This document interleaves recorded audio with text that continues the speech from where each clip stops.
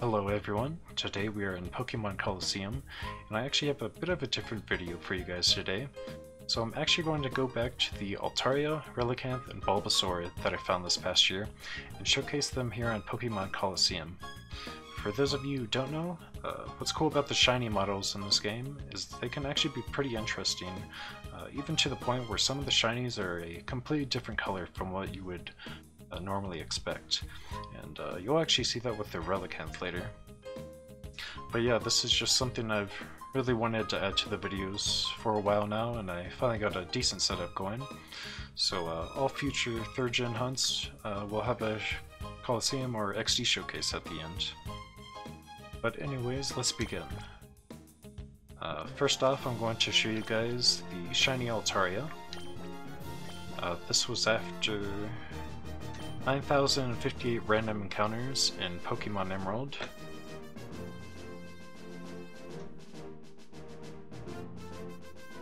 Uh, yeah, I'm excited to show you guys this.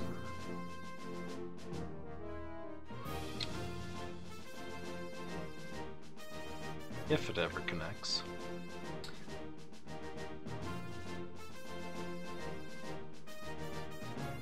Uh, there we go.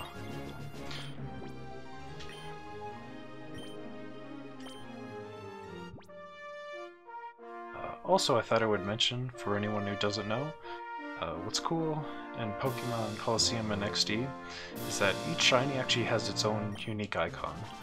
And so, as you can see with the shiny Altaria, and how it has its mouth open and you can see part of the wing, uh, I just thought that was a, a, cool little addition they added to the games.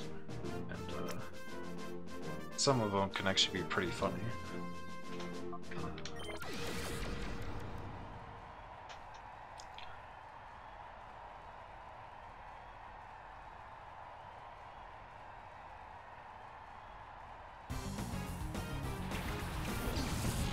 Anyways, there's the normal Altaria.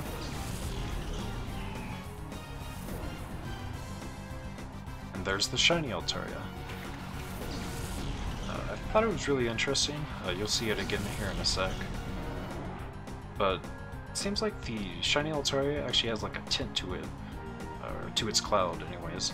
Um, which is, I just find really interesting because the only thing that changes on the shiny is its body yeah, I just thought I would point that out. But anyways, I'm going to cut the video here and show you guys Relicanth. Alright guys, I'm back with the Relicanth. Uh, this was after 1,598 random encounters in Pokemon Emerald, and this is probably my uh, most favorite shiny I currently own to date. I just love this thing.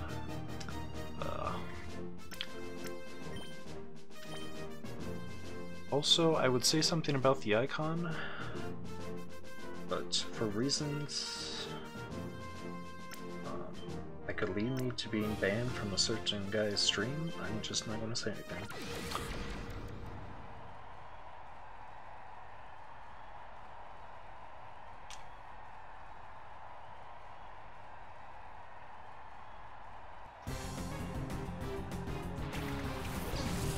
Alright, there's a normal Relicanth.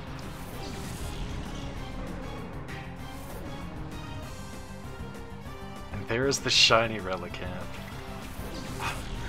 this is actually my first time being uh, seeing it thrown out in a battle.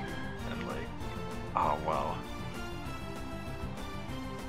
It's just so different from the uh, cyan blue color. I don't know. And it, I really like how its uh, face changes. Because normally, uh, in Shiny Relicanth, it still has the uh, brownish. But, uh, yeah, I don't, that just looks so cool. Um, yeah, I don't, I'm just going to cut the video here and go over to uh, Bulbasaur. I'll see you guys in a few. Alright guys, I'm back with the Shiny Bulbasaur. Uh, this was after 27,813 soft resets on Pokemon Fire Red. Uh, currently still my longest hunt to date, and honestly probably uh, one of my top favorites. Uh, just because of how long it took, and I don't know, it was just really satisfying in the end to finally find it. But uh, yeah, look at that green icon. Um, I want to be honest, I'm not a big fan of this model. Uh, it's not horrible, but uh, I don't know, it just doesn't appeal to me as much as the um, sprites do in the main game. Uh, yeah, you can judge for yourself uh, here in a second. So there's a normal Bulbasaur.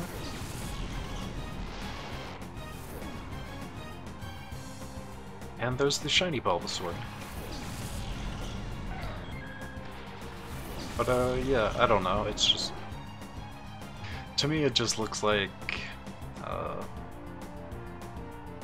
a green overlay was put over the normal one, and I guess that's why I'm not too much of a fan of it. But uh, still really cool to see here in Colo.